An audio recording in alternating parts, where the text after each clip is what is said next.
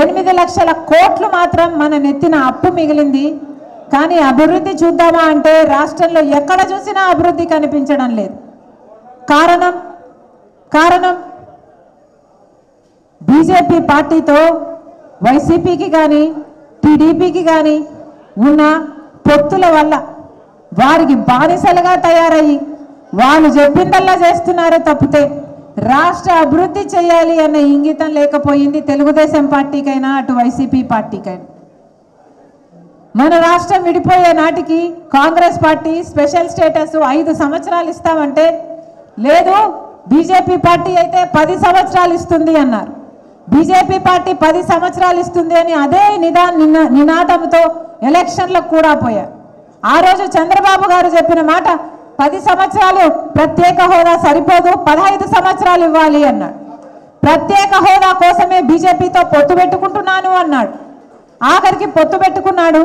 వాళ్ళు ఇచ్చిన మంత్రి పదవులన్నీ తీసుకున్నాడు. కానీ ప్రత్యేక హోదా తెచ్చాడా అంటే పొత్తు పెట్టుకొని ప్రత్యేక హోదా తెలియదు కానీ మంత్రి పదవులు అనుభవించారు. బీజేపీతో దోస్తీ కొనసాగించారు.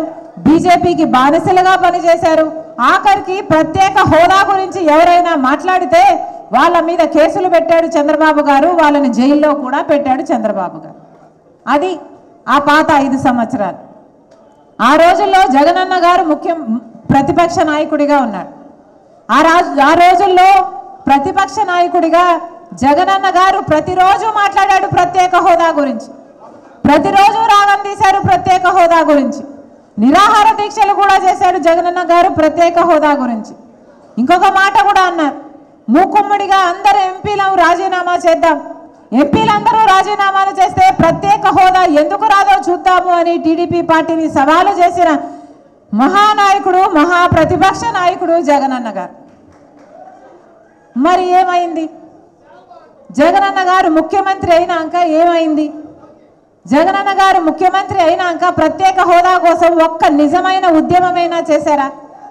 ప్రతిపక్ష నాయకుడిగా ప్రతిరోజు ప్రత్యేక హోదా గురించి మాట్లాడిన వాళ్ళు ప్రతిపక్ష నాయకుడిగా ప్రత్యేక హోదా వస్తే మనకు ట్యాక్స్ బెనిఫిట్స్ వస్తాయి మనకు ఇన్సెంటివ్స్ వస్తాయి రాయితీలు వస్తాయి పరిశ్రమలు పెద్ద పెద్ద పరిశ్రమలు వస్తాయి పరిశ్రమలు వస్తే మంచి ఉద్యోగాలు వస్తాయి ఇన్ని అవసరాలు ఇన్ని అవసరాలు తీరుతాయి మన రాష్ట్రం బాగుపడుతుంది అని ప్రత్యేక హోదా కోసం కొట్లాడిన వాళ్ళు అధికారం రాగానే ప్రత్యేక హోదాను పూర్తిగా పక్కన పెట్టేశారు.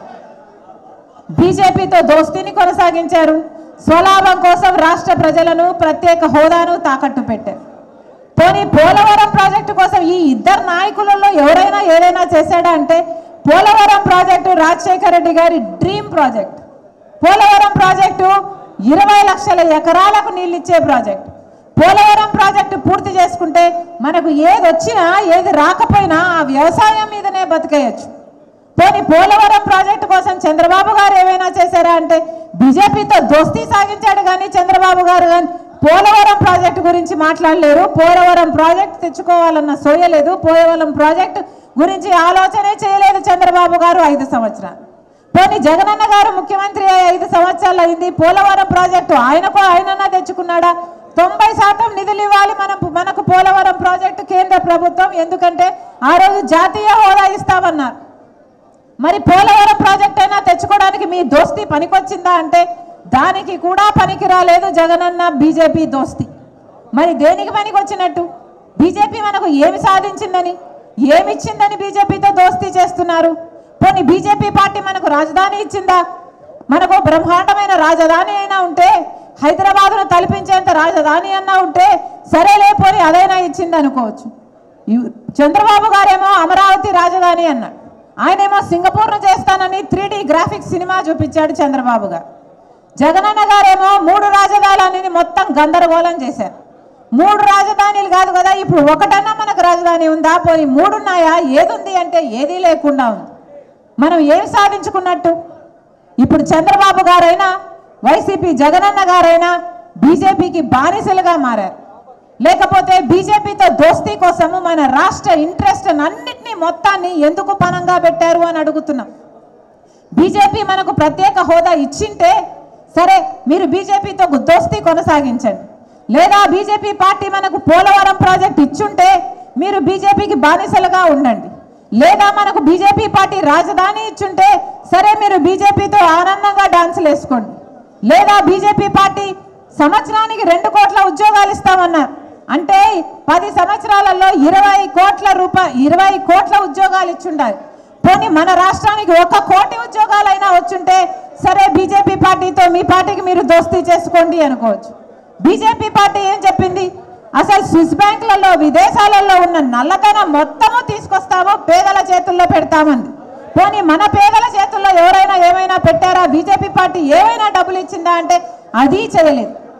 బీజేపీ పార్టీ పోని రైతులను ఆదుకుందా రైతులకు రెట్టింపు చేస్తాం దుగుణం చేస్తామన్నారు కదా మీరు ఆదాయం పోని అదైన మాట నిలబెట్టుకుందా అంటే బీజేపీ పార్టీ ఒక్క మాట కూడా నిలబెట్టుకోలే. నిలబెట్టుకోకపోగా మతం పేరుతో రాజకీయాలు చేసినప్పటికీ కూడా ఇటు వైసీపీ అయినా అటు తెలుగుదేశం పార్టీ అయినా మొత్తం ఇద్దరు బీజేపీతో పొత్తులు పెట్టుకున్నారు. ఆ పొత్తులు మనకు కనిపించినా కనిపించకపోయినా ఈరోజు బీజేపీ పార్టీ ఆంధ్ర రాష్ట్రంలో రాజ్యం ఏలుతుంది అనడానికి వేరే సాక్ష్యాలు ఏవీ అవసరం లేదు.